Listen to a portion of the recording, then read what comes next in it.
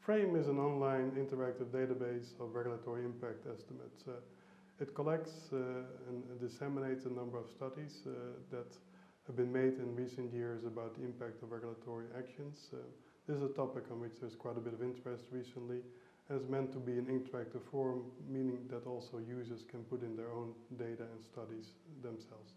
FRAME is a database. It currently collects 83 studies and about 140 estimates.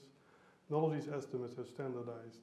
This means that the users can easily compare across studies, but they can also compare different types of banks or different types of periods studied or different types of countries.